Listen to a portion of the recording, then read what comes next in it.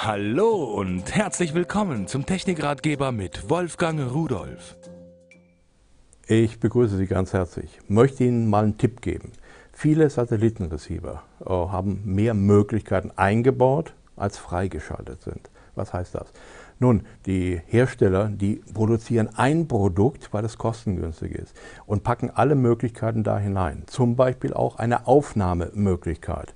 Nun wollen sie aber diese Aufnahmemöglichkeit, die ja auch Entwicklung gekostet hat und so weiter, äh, auch bezahlt haben. Müssen sie ja auch. Und äh, deswegen ist die nicht freigeschaltet. Sie kaufen den Receiver, der ist voll funktionsfähig, nur aufnehmen können Sie nicht.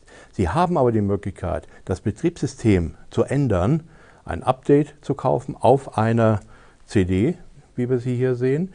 So, und äh, diese CD beinhaltet nun eine Betriebssystemversion, die auch das Aufnehmen, die Aufnahmefunktion als Videorekorder benutzt. Wie macht man das?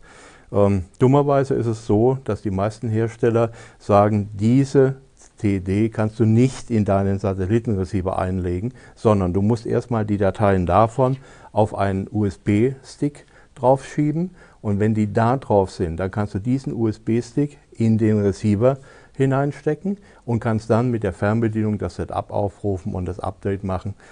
Dabei müssen Sie noch eins wissen, Sie verlieren in aller Regel dabei Ihre Einstellungen, das heißt Ihre Senderspeicher und so weiter. Da gibt es Receiver, da können Sie vorher ein Backup machen, auch auf USB, dann das Betriebssystem updaten um die Aufnahmefunktion und anschließend spielen Sie dann Ihre alten Einstellungen so wieder ein und dann haben Sie das, was Sie vorher hatten. Nur jetzt können Sie natürlich aufnehmen, sehr flexibel, sehr schön und natürlich auch verwalten und wiedergeben und hin und her und so weiter. Eine interessante Alternative, die Sie sich ansehen sollten. Und tschüss.